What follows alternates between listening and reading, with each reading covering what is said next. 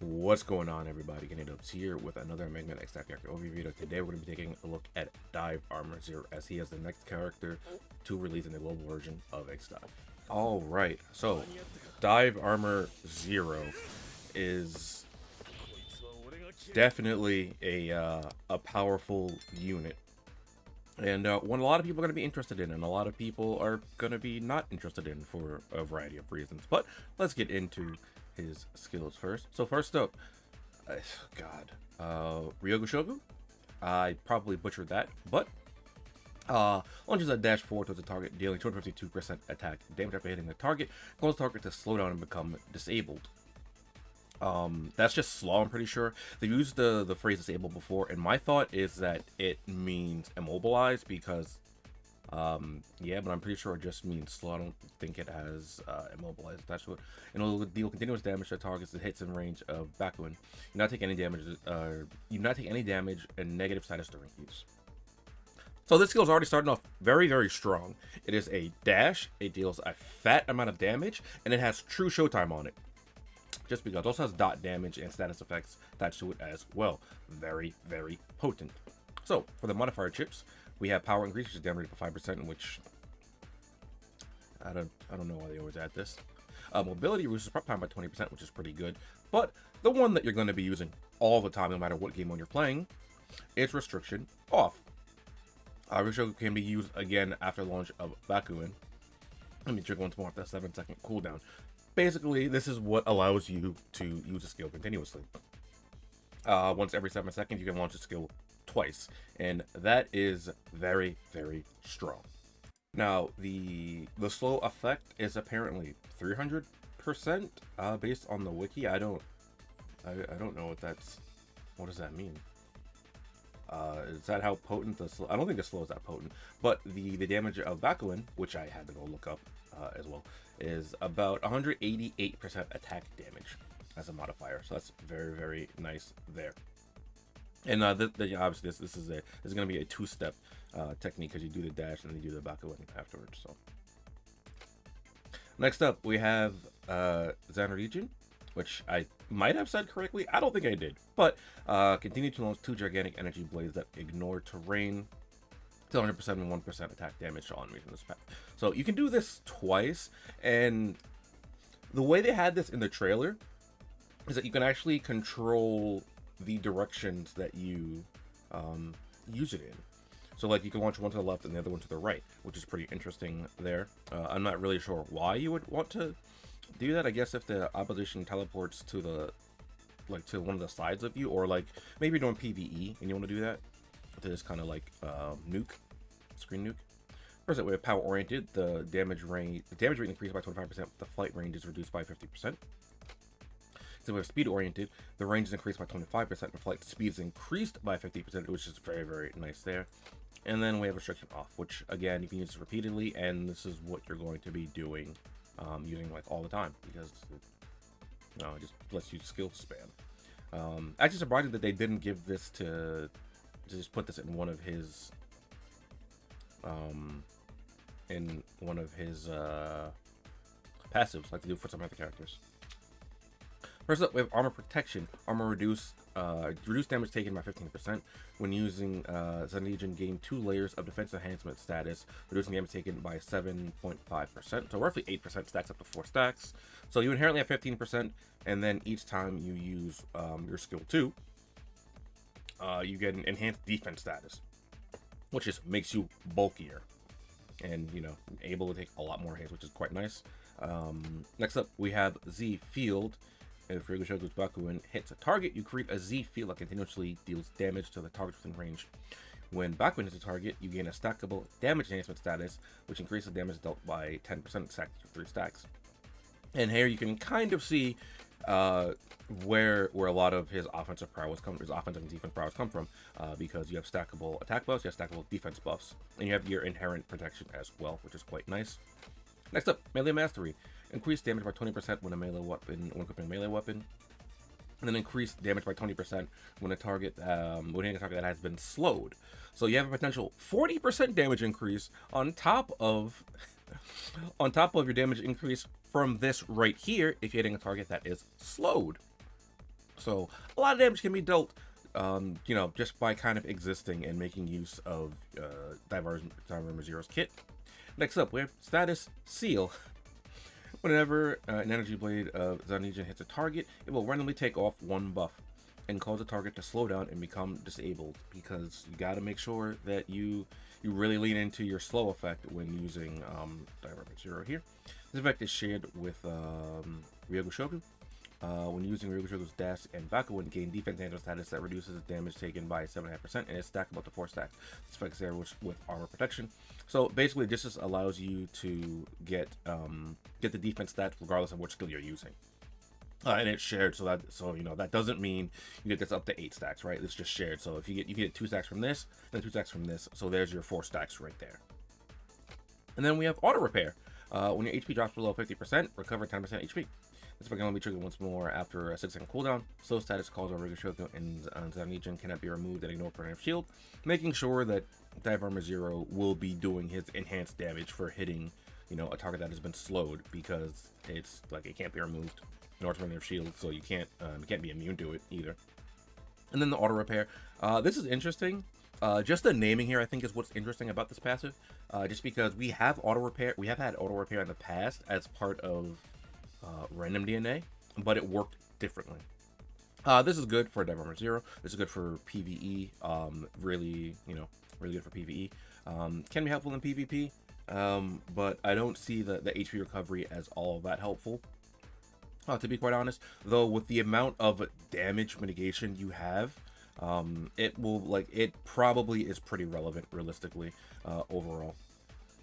Um, especially because of like like I said, the, the damage mitigation you have inherently in like the the stacks you get. Following that, uh, let's take a look at Diver Zero's DNA. He will not have DNA when he's releasing global. Well, he shouldn't have DNA anyway, because um, he's got this semi recently in the Taiwan version. But as per usual, I like to go over the DNA so people are aware of what's going to be happening when the character gets their DNA in the global version of the game. So, first up, we have energy feedback. When defeating a target with a weapon or skill, whoever HP equal to 22.5% of the attack, uh, kill them use once more after it's just a cooldown. Uh, this is this is very, very good for PvE. Um, it's not, I don't think it's that great for PvP. However, on a unit like Dive Armor Zero, it might make a good bit of a difference because you heal a decent amount. Dive Armor Zero is already hard enough to deal with as it is. So just adding a little bit more to him um, is um, uh, I think it will help, uh, but I don't think it's the biggest deal for him in PV, uh, PvP. Uh, really good for PvP, uh, PvE though. Uh, gives you a lot more survivability. really good for you know like Jakobs, or like if you're just underpowered doing story. Next up, we have Enhanced Melee Mastery. The damage enhancement effect when equipped with a melee weapon, melee mastery is increased to 24%, which is pretty interesting there. Um, I like how they say they they word it differently here, and I wish they would go back and retroactively change that for the other passives so that it wouldn't confuse people. Because um, usually they say they'll they'll say it'll increase it by 20%, bringing it which would bring it up to 24% if it's a 20% boost. Um, but uh, you know, I just this this is fine here. More damage, more good. And then we have Nitoryu. When you equip two melee weapons at the same time, increase damage deal by 30%. So, even more damage here. Really, really good for a Dive Zero. Not too much for his opposition. Um, this is this will be really, really good for like things like raid. Um, and things like that. Just, just you know, just further increasing his battle prowess, which is very, very nice. And then for his random DNA here, we have reduced attack response. When in reduced attack status, reduce damage you take by 12%. Uh, typically, like I said, I typically don't like this passive all that much, uh, to be quite honest. Uh, it might have some niche uses though in some very specific matchup. But uh, overall, I don't really like this uh, this passive all that much. Uh, other than that, you have short range adaptability, short range boost, summon sentinel, player killer. Player killer is a big one. Uh, melee amp, melee adaptability. Again, two big ones here, which are very very good there. Um, and for the for the defensive one, let's see, no skill resistance. Okay, that's not bad.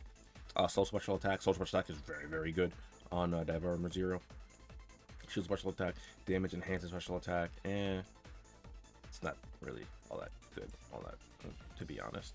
Um, but yeah, that's it for Dive Armor Zero's kit. So let's take a look at some weapons that'll work well with him. All right, so Dive Armor Zero, real good unit, likes melee weapons. Uh, doesn't necessarily want double melee all that much until his DNA drops. So uh, you will want at least one melee weapon on him. Uh, so due to that, kind of, I guess, as per usual, uh, Buster Melee Hybrid, uh, it's so good. It's just so easy to slot on like any character just because of how versatile it is. So Air Buster. Airbuster, Thermometer doesn't have a speed boost in his kit. Um, you can just use this to engage or disengage. Uh, speed boost is fantastic with the Airbuster here. And it has a little bit of defense on this as well if you want to make use of that. And then some other passives over here as well. You get homeopathy adaptability, uh, rapid reload, or the defense amp right there. Other than that, uh, we have the Cyber Busters. Um, Explosive Bolt, best Cyber Buster. Um, as per usual, uh, I always recommend the player killer passive or hidden skill with this, just because player killer is just so much easier to get value out of, as opposed to uh, penetration. Penetration has potential to deal a lot more damage, uh, but penetration requires, um, you know, a little bit more setup and finesse to make sure you can make use of the penetration from the ricocheting shots off of this spray calibration system. Uh, we have Hawk Precision Buster. Again, I don't like this buster. Uh, I like the way it looks, but I don't like the I don't like using this in practice uh, because you have to use your you have to be in your quick hunt status to be able to pierce terrain. But in order to get that, you have to hit with this weapon initially first anyway. And I'd rather just have this weapon pierce terrain, though I think it'd be a little too good if it just pierced terrain off the bat. Uh, but when you hit a target in mid or long range, uh, you get access to your quick hunt status, and then this allows you to ignore terrain with that. We also have the Sniper Buster. Sniper Buster is um, pretty pretty decent buster to use as well. It's also free, so um, once you get up to research level 8, you can just start making the memories for this daily. So, uh, you know, that that's a free Sniper Buster there, a Sniper Style Buster. And then following that, we have the Destructive Laser. Very, very good as well. Um, this is a limited weapon though, so this will probably be the hardest one to. Oh well, this and Hawk Precision Buster are limited, so they'll probably be the two hardest ones to get in terms of Sniper Buster, but um, you can make use of this as well. Heading on over to the melee weapons. Uh, Nightmare is an option. You don't necessarily need Nightmare just because Dive Armor Zero already has inherent attack boost on him, but if you know what, if you want to deal more damage, I guess sure, bring uh, bring Nightmare. Um, just swing this around and get your attack boost. Um, you know, damage is damage. Uh, getting your your stacks pretty early could lead to uh, quicker KOs in uh, in PvP. Ancient Relic. Ancient Relic is always a good weapon to use as well for its utility. Uh, Ancient Relic does have access to uh, speed, which Dive Armor Zero doesn't have inherently, like I mentioned before. Also has access to a shield, which Dive Armor Zero doesn't have, but I don't think he really needs a shield all that much. But hey, you know, less damage taken, less damage taken. So there is that. Um, and then he has two other skills as, as cleanse and um, crit damage up as well. Gotta mention Grudge Axe. Grudge Axe is still one of the best melee weapons, if not the best melee weapon. Top three for sure, top five. Uh, reason for that is uh, Spirit Damnation, chance to steal a target's buff, and then Enrichment Curse double the chance of that happening. So uh, when making contact with the target, you have a 60% chance to steal a buff from them. So it's a lot better than just, just dispelling them both, just because you can take their buffs, which is quite nice. Um, the thing though is with Dive Armor Zero, is if you're in a mirror match, you just have to kind of, I guess, be kind of wary of that happening to you because your buffs can be taken away from you, or it doesn't necessarily have to be a mirror match. Just anyone with Grudge Axe um, can take your buffs away from you, but you do have a, a little bit of inherent bulk as it is. Uh, so you might be okay overall. And just Dive Armor Zero doesn't really even need to get in there and start brawling, right? He could just zone because he's just that good. Uh, there's also Spirit Possession inflicts target with out of control. Uh, can throw some people off. Um, but uh, yeah, there's that. You don't have Grudge Singularity Slasher as an option as well. I think Singularity Slasher is still pretty decent. Overall, Singularity Slasher, uh, unlike Axe, uh, stealing the buffs, Singularity Slasher dispels the buffs, but this, this the dispel chance is 100%. However, with how consistently or how how dash slashing works, uh, 60% one is already in your favor, and two, uh, with how you know how many times you get with dash slashing, the odds you know you'll have a lot higher chance of triggering that. Um, singular slash it can remove two buffs at one time, um, so there is there's a, a boon there for that. While I'm back here talking about limited weapons anyway, let's talk about Decide's Will. Decide's Will is just a fantastic weapon. Uh, not only that, uh, Decide's Will is a launcher, which is pretty interesting because if I remember correctly, there are some cards that have access to allowing you to be boosted with having a launcher and a melee weapon, which is very, very good because Dive Zero wants to have melee weapons as is uh, for the additional damage. So um, having this to zone out alongside your melee weapon if you want to brawl it up as well is quite nice. The Decide's Will just a fantastic weapon. A lot of people don't like it, but uh, you can't deny that it's good. Pierces terrain, um, and it will auto aim even if auto aim is disabled or if you're in confusion. So Decide's Will is just like basically like a cheat code. You can also use Turbo Cannon if you want. Turbo Cannon's uh, is always a solid option to just put on a character if you don't really know what else to put on. Nevermind Zero already has inherent iframes though, but having more iframes is never a bad thing. Uh, just be aware that for this weapon in particular, you want the overheat protection as your hidden skill if you're going to be using it for the iframes, which I think is the only one worth using, to be quite honest.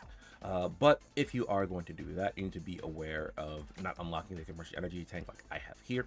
The reason for that is because while this does sound good in practice, or in theory rather, increases range, you know, that sounds good. Increase energy by 10%, again, that sounds good. But increasing energy by 10% also means that it's going to take you a bit longer to get to overheat protection because you have to empty out your entire clip before you have access to that.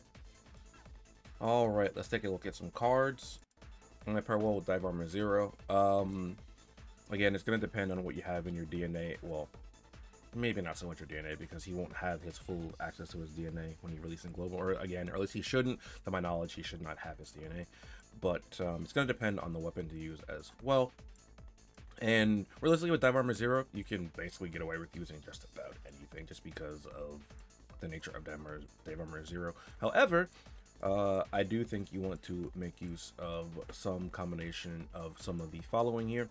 As per usual, if you're playing PvP, Player Killer is always a fantastic option to have on a more offensive unit.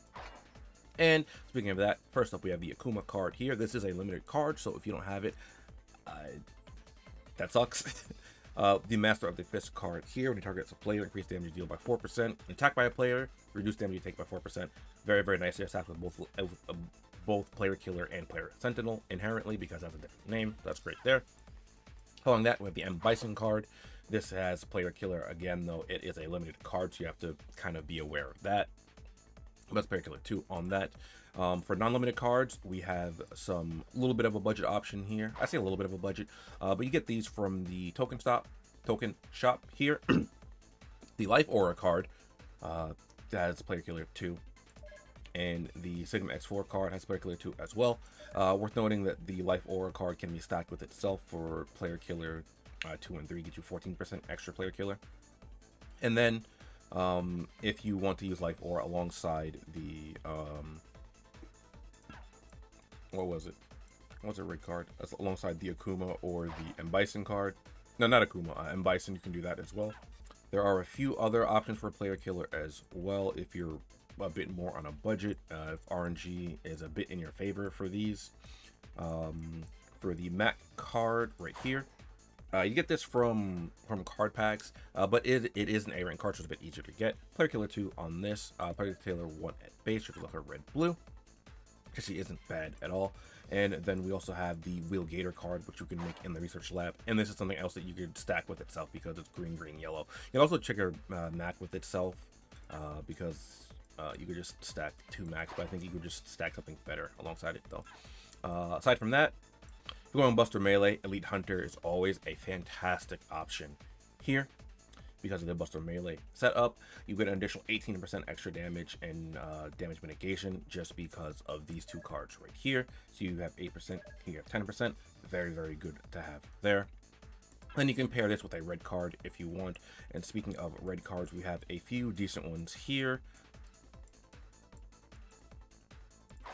The Access Members card, which you can get from the Deep Quarter, so make sure you're doing that weekly to get access to this. Uh, and then there's also the God, I forgot the name of the card. Uh, I just talked about it last time I did a character overview as well. Twin Heroes, I think is the name. Um, it has melee, melee adaptability and melee amplification on it. It's a red card triggers for red blue, which is very, very good. Downside with that one is that you would have to either bought it or you would have had to uh, have gotten it last month from the the monthly rewards. I almost have battle pass. It's kind of the same as a battle pass. I also forgot to mention, but the elite hunters card you get this from from your guild. So um, hopefully RNG is in your favor for that. As you can see, I have a lot here because I just kind of keep getting them from my guild. Now, if you don't have access to those, there are a few other cards you can use in place of that for Buster Melee, although they won't be nearly as good. The Well, also, first I want to also mention the X and Zero card for Buster Adaptability. I think this was a... I think this might have been a monthly reward as well, which triggers off for Red Blue. Uh, but uh, if RNG isn't really in your favor, I think it's the Guild Development card. Yeah, Guild Development has Buster Melee. Um, you can stack this with itself. Buster Melee 1, Buster Melee 2 and successfully completed as well has double amp for Buster Melee. And this is again something you can stack with itself. As a blue green, you just get two of these together, and then you have 10% amplification right there. That's quite nice. Alright, if you wanted to go a bit more defensive for some reason on your Dive Armor Zero, uh, you can stack some Player Sentinel, and a good card to stack for Player Sentinel is the Spy Devil card. Uh, this also gives you out of control special attack, which you can make make good use of if you're using the Grudge Axe, so Spy Devil is a limited card from the Halloween event, so hopefully you have that if you want to go to a bit more defense, to go and play Sentinel uh, 3 here, and then play Sentinel 2 here. That's 14% extra damage mitigation. That's also 14% damage amp as well. Uh, so there's something you can do right there. And then on top of that, there is a red card here. So you can actually even go ahead and put the put base's life aura card in place of one of them if you want. Uh, you will still need a red card to trigger that though, uh, but this is something you can do. Alright, I did want to cut back in here. This isn't about a card specifically for Dark Zero, but um, I said something earlier where you might want to use Melee and um, Melee Launcher, but I think when I said that, I was specifically thinking of the passive that uh, ZX Ale has, which gives you a boost for using Melee Launcher. So uh, I don't know if that's actually a combination for other cards. I just know that ZXAL has it, and I think that's what I was thinking of when I was thinking about that um, as a possibility. There might be cards with that, but I don't know any off the top of my head, so I apologize about that. Just wanted to say that before uh, we move on. All right, I think that will wrap up Dive Armor Zero for now. Uh, it's a pretty good unit. Uh, and by pretty good, I mean very, very good unit. I never looked at the splash screen on Dive Armor Zero, so let's take a look at that very, very cool looking um, screen there. So, should you pull for Dive Armor Zero? Um, yes, probably. Uh, I think just about everyone should pull for Dive Armor Zero, especially if you care about PvP. If you don't care that much about PvP, then you don't necessarily need him all that much. Uh, but he is such a force to be reckoned with in PvP. Uh, you're basically going to be at a disadvantage if you don't have Dive Armor Zero, if you're going to be planning to play PvP once he releases. So uh, that is something to keep in mind. He is very good in PvE as well, but PvE also isn't very difficult at all.